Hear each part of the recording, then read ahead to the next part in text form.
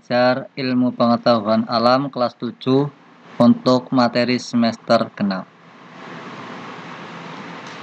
Materi semester genap kita awali dengan tema organisasi kehidupan. Ada beberapa bagian yang akan kita pelajari dalam organisasi kehidupan. Kita mulai saja dari bagian yang pertama. Organisasi kehidupan merupakan kumpulan bagian dari unit kehidupan yang saling bekerja sama untuk mencapai tujuan yang sama. Tujuannya yaitu melangsungkan kehidupan. Makhluk hidup berdasarkan unit bagian penyusunnya dapat dikelompokkan menjadi dua macam. Yang pertama adalah makhluk hidup uniseluler atau makhluk hidup yang tersusun dari satu sel saja. Yang kedua adalah makhluk hidup multiseluler atau makhluk hidup yang tersusun dari banyak sel. Makhluk hidup multiseluler yang terdiri dari banyak sel nanti akan membentuk tingkatan organisasi kehidupan yang saling mendukung untuk terciptanya kehidupan. Urutan organisasi kehidupan secara sederhana adalah dimulai dari sel. Sel, kumpulan dari sel akan menyusun sebuah jaringan. Kumpulan dari beberapa jaringan akan menyusun organ. Kumpulan dari beberapa organ akan menyusun sistem organ. Kumpulan dari sistem organ akan menyusun organisme. Organisme di sini bisa dikatakan sebagai satu individu makhluk hidup. Contohnya adalah diri kita sendiri. Jadi diri kita sendiri itu tersusun dari beberapa bagian penyusun. Contohnya, kita tersusun dari sistem organ pernapasan, penglihatan, sistem organ pencernaan, dan lain sebagainya. Sistem organ penglihatan kita, contohnya di sini, itu tersusun atas beberapa organ, misalkan bola mata kita, kemudian ada otak. Kemudian bola mata kita sebagai contoh organ itu tersusun dari beberapa jaringan. Ada jaringan lensa, jaringan retina. Nah, jaringan retina yang ada pada bola mata kita itu tersusun atas beberapa sel. Nah, berarti seperti itu urutannya adik-adik. Intinya dalam satu makhluk hidup itu tersusun atas bagian-bagian yang saling bekerja sama untuk terciptanya kehidupan. Kita mulai dari yang pertama yaitu sel. Sel itu merupakan bagian atau unit fungsional terkecil yang menyusun tubuh makhluk hidup yang masih memiliki tanda-tanda kehidupan. Tanda-tanda kehidupan di sini yang dimaksud adalah seperti pada materi sebelumnya, yaitu bernafas, berkembang biak, membutuhkan nutrisi, dan lain sebagainya. Jadi sel itu ternyata bernafas dan berkembang biak. Semakin banyak. Buktinya ketika kita begitu lahir hanya berukuran sekitar 40 cm, sekarang sudah mungkin ada yang 100 cm lebih. Itu menandakan sel dalam tubuh kita itu berkembang biak bertambah banyak sehingga kita pun menjadi tumbuh bertambah besar. Berdasarkan struktur selnya, makhluk hidup dikelompokkan menjadi dua macam.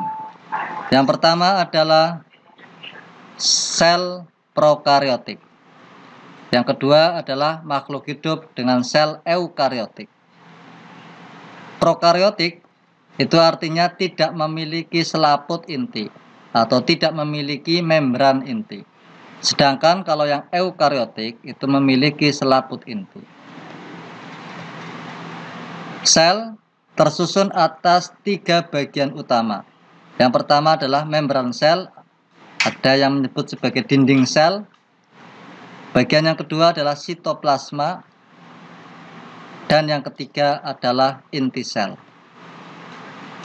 Membran sel atau dinding sel merupakan bagian terluar dari sel yang berfungsi sebagai tempat pertukaran keluar masuknya zat dari dalam dan keluar sel. Zatnya tentu saja berbagai macam. Yang dibutuhkan masuk, sedangkan yang tidak dibutuhkan akan dikeluarkan. Membran sel bersifat lunak dan lentur. Makanya kulit tubuh kita itu untuk yang hewan dan manusia itu kulitnya lentur, lunak. Namun pada tumbuhan membran sel yang paling luar itu mengalami modifikasi membentuk lapisan yang mengandung selulosa dan pektin bersifat keras, kaku, dan kuat. Nah, inilah yang disebut sebagai dinding sel. Makanya pohon itu bagian luarnya, kulitnya itu kalau kita tekan keras.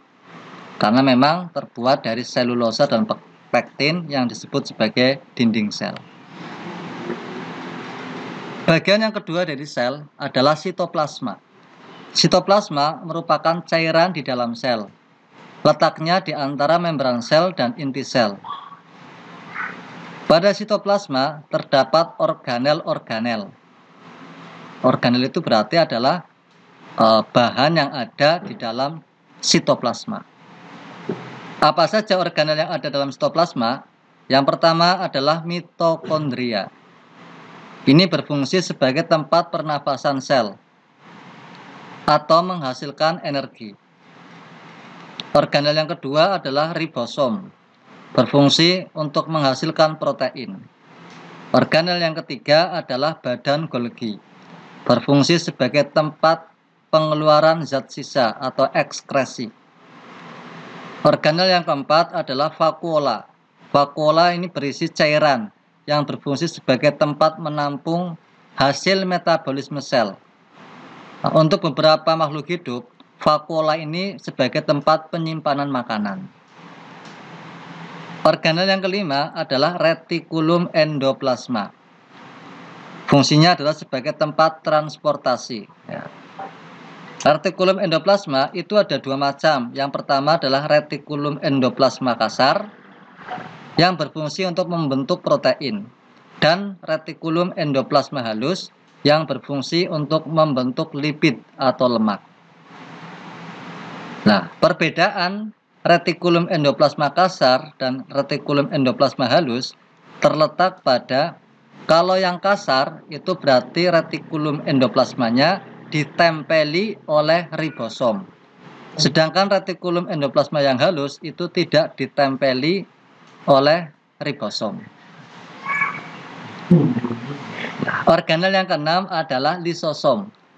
Lisosom itu berisi enzim yang berfungsi untuk memecah komponen bahan yang sudah tidak digunakan atau bahasa lainnya adalah sebagai tempat daur ulang. Organel yang ketujuh adalah plastida.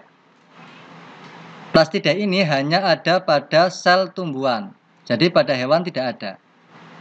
Plastida berfungsi untuk menghasilkan warna atau pigmen. Pigmen yang dihasilkan oleh plastida itu ada tiga macam, yaitu kloroplas hijau, kromoplas, dan leukoplas.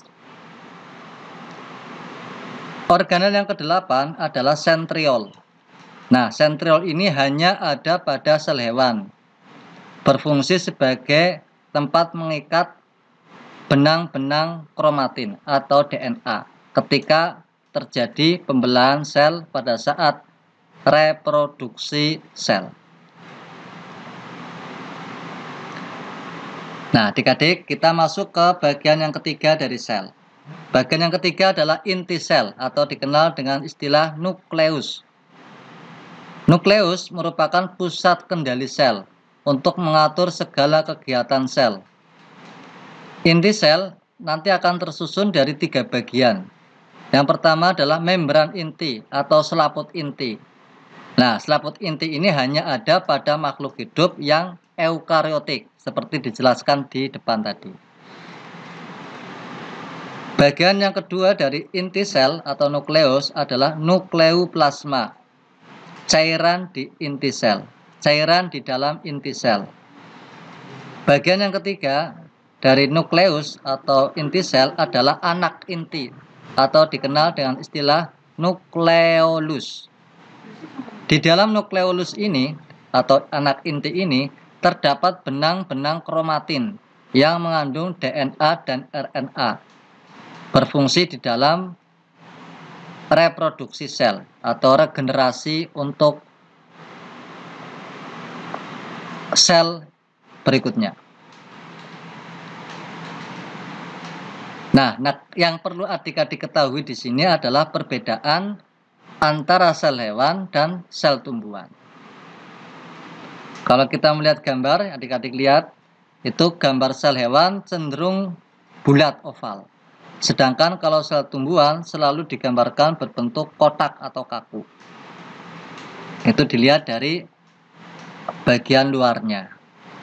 Nah, kalau kita lihat dari bagian dalamnya, sel hewan itu memiliki sentriol.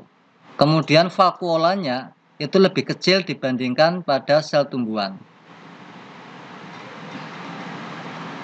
Kalau sel tumbuhan itu memiliki plastida, sedangkan hewan tidak. Karena plastida ini hanya ada pada sel tumbuhan. Kemudian sel tumbuhan memiliki dinding sel, sel hewan tidak.